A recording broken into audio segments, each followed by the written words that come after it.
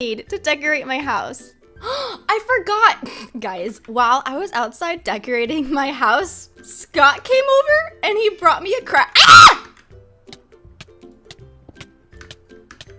Oh my god!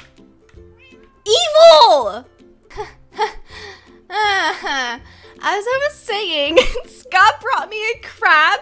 Uh, okay. He pinches. He's got little pinchers. He's not very nice. He's cute, but he's not very nice. Let's stick him in this lead for now, and maybe we can create a cute pet area one day.